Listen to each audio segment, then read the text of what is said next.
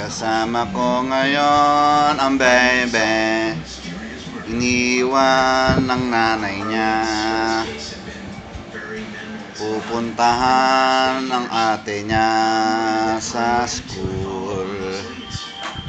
May dede pang iniwan. Para daw hindi umiyak ang bebe. Ang sarap ng buhay niya. Parati lang nag-oobserba. Ang puti-puti ni Mateo na baby. Ang puti, oh. Mapogi na bebe to, oh. Mhm. Kamukhang kamukha ng papa niya, oh. Mm. Mapogi na bebe, oh. Pogi-pogi, oh. Hmm. Mapogi talaga, oh. Mapogi talaga, oh.